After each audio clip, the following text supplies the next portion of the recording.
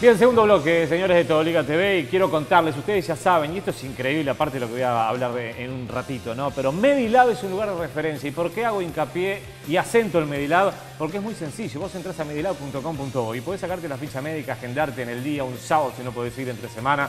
Eh, Medilab, vos sabés, está siempre junto a la Liga Universitaria. Y aprovecho de recibir al señor Esteban Cristóbal. ¿Cómo estás, Un gusto, ¿cómo estás? Y decía lo de Medilab, porque ya van, y viene la corta.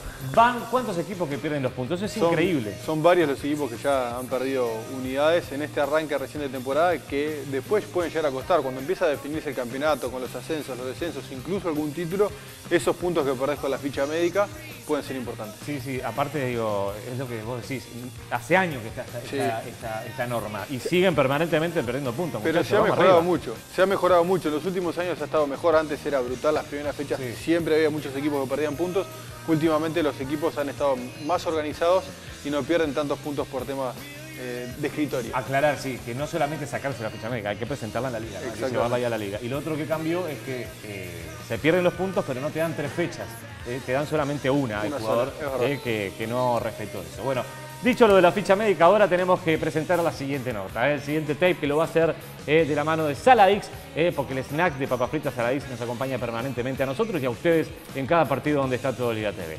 Presentamos la charla que mantuvimos con el técnico campeón del torneo Apertura, el técnico de Defensor Sporting. Tuvo pasaje en la liga, quiere mucho a la liga universitaria. Hablamos de Eduardo Acevedo, mira.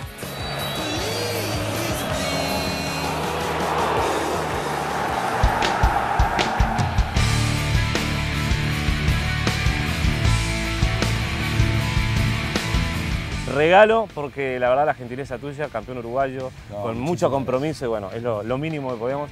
Así que bueno, vamos a charlar un ratito de, cosas diferentes, ¿eh? porque hace un año especial para vos. Muchas gracias, sí, muchas gracias. Y aparte una marca de un amigo, Eduardo. y es que me vistió mucho tiempo a mí también y muchísimas gracias. Hay cinco o seis sobres. Cada sobre tiene eh, preguntas y es, la nota nos va a llevar cada sobre. Es decir, la nota no está planificada, sino que la nota es responsabilidad de lo que pasa en los sobres. Después vamos a ir derivando por donde venga. Está bien, está perfecto. Así que bueno, primer sobre que me da nuestro querido camarógrafo. Voy a abrir yo, a ver qué hay acá. Arrancamos fácil, arrancamos muy fácil. Esta te va a gustar. ¿Qué significó el Carolino Universitario y qué te dejó el pasaje en la liga? Ah, espectacular. Yo digo que el, el fútbol de la liga universitaria es el fútbol verdadero, el fútbol real, el de la pasión el que, el que uno quiere jugar a pesar de que no haya dormido en toda la noche fue.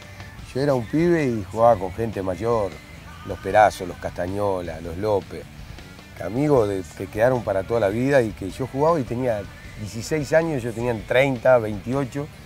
Y yo era el habilidoso y, me mataban a patada y ellos me defendían. ¿Cuántos años en el Carolino jugaste? Porque un año y medio, un año y medio. Pero ¿qué pasa? Cuando se enteró Defensor que yo estaba jugando en la liga universitaria, me, cortaron la cabeza y, este, y no pude ir. Y yo a veces jugaba sábado, y esto está mal decirlo, sábado eh, en cuarta, domingo en tercera, y a veces me escapaba y jugaba unos minutos en el Carolino de mañana. Para, Hay varios casos eso, te digo. Pero lo hacía porque era un compromiso de amigos. A ver, vamos a la otra. ¿En qué orden? Esta es importante, a ver, esto pensala. ¿En qué orden? de importancia pondrías estas opciones como director técnico? Ahora te meto en el director técnico. Sí, también. Motivador, estratega y conductor. Es decir, las tres son importantes, por ahí otras más también, ¿no? Para mí la, conductor. Conductor es la primera. Conductor. En el segundo, ¿qué serías? ¿Un estratega o, un motivador? Estratega, Motivador estaría... estaría... Yo, yo no me considero un motivador. Yo creo que al jugador yo le digo la realidad. Muchos dicen que hacerle ver la realidad es motivarlo.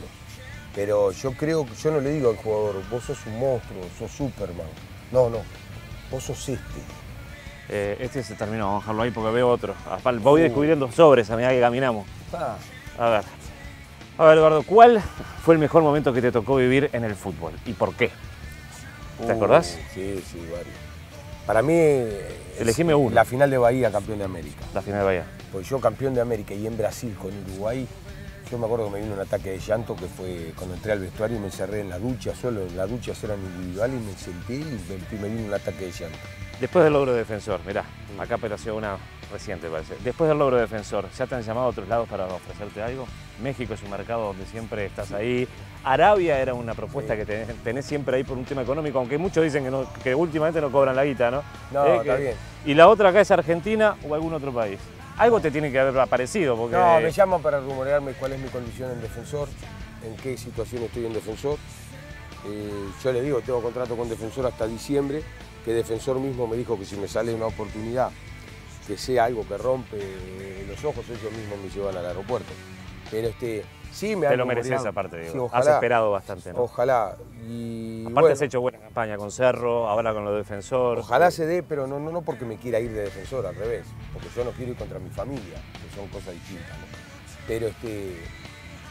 Pero ojalá se dé en el momento que se te haga. Yo digo, aprendí en el transcurso de la vida de que, esto hay que saber esperar. Si tenés que elegir este, entre estos técnicos que te voy a dar, dame uno, capaz que no te gusta ninguno, pero me tenés que decir uno. San Paoli, Bielsa y Tavares. Grupalmente Tavares. Trabajo Bielsa. Esos son mis ideales. O sea, grupal, lo que formó Tavares, un grupo de pertenencia, una identificación, una disciplina, Tavares.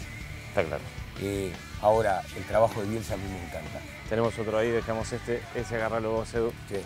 A ver qué, nos trae. Nos quedan dos, nos quedan dos y ya estamos. Dale vos, dale vos, dale la vos si querés, a ver, elegí la que quieras. Sacando un partido fútbol, si tenés que elegir para mente, ¿con qué te quedas? ¿Informativos, comedias, programas nacionales o serie de Netflix? ¿Está claro? Serie de Sacamos el fútbol, ¿con qué te... ¿Serie, de Netflix? Está, ahora contame, ¿qué serie de Netflix? La, la mejor, El Patrón del Mal. ¿Sí? La mejor lejos el patrón. O sea, ¿tenés tiempo cuando no hay fútbol con tu señora o solo? que con, mi señora. no, solo nunca empiezo una serie porque yo creo que es una cosa para compartir. Está clarísimo. Aparte me gusta compartir. Aparte solo estoy mirando ya 10 horas por día eh, fútbol. Sí, sí, sí. Más entonces, ahora que, entonces yo cuando terminamos de cenar, esa señora, mi señora sabe que esa hora es la nuestra para, para ver una serie, para ver una película. A ver qué aparece acá. Esto, no es una pregunta. Uh. Voy a dejar el sobre porque esto lo quiero mostrar. Esto es un momento. Oh. este es un momento. La corrida. ¿Se ve bien ahí, Waldo? Esto dio que hablar en la semana, ¿no? Porque mm. todo el mundo preguntó qué pasó. Eh, pues saliste como, como el, 9 que, nunca lo pensé. que gritó, que hizo el gol y. Claro, nunca lo pensé. Salió. me salió de imprevisto.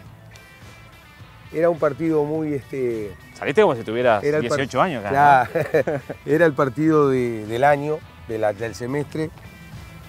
Era la final de la Champions League, para meterle una frase que me metieron el otro día, porque para mí todos estos torneos son la Champions League y yo dirijo el mejor equipo del mundo cuando dirijo y, es mi manera de encarar las cosas con los objetivos. Yo no quería ni que hubiera un festejo desmedido en la cancha porque venía una final. Sabíamos que le habíamos ganado, éramos los dos mejores. Yo no quería festejar en la cancha, aunque me debo la hinchada de defensor. Pero yo lo que más quería era que los jugadores, terminó el partido, ya vamos a meternos en el otro, vamos a salir de esto. Mirá dónde llegamos. Uf, ¿cuánto tiempo pasás acá? Bastante, ¿no? Sí. Y esta es la última. acá no hay una pregunta, esto es un, ping-pong, lo hacemos rápido y lo vamos cerrando. Pues está bueno. Y no tiene nada que ver muchas veces con el fútbol. Un color. Azul. Un amigo. Daniel, Juan. ¿Una ciudad para vivir? Montevideo por cariño, Guadalajara por elección. ¿Un número preferido? 13. ¿Por la yeta? Salí campeón de América con el 13. Divino. ¿Un barrio de Montevideo? Positos. ¿Una comida preferida? Pasta rellena. ¿Un sueño? Dirigir la selección uruguaya.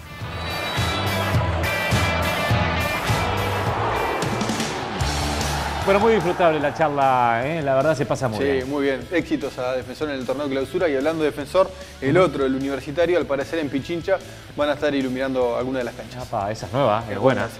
Bueno, tenemos que hacer la pausa rápidamente, nos vamos de la mano de 100 Pipers y vos ya empezás a anotarte para lo que se viene, ¿eh? una nueva acción que ya te la vamos a contar en el próximo programa, pero vos empezás todoliga.gmail.com y pone quiero participar en la acción de 100 Pipers, 100 Pipers que siempre está apoyándonos, ¿eh? nos vamos a la pausa, quédate por ahí, tenemos mucho más para mostrarles.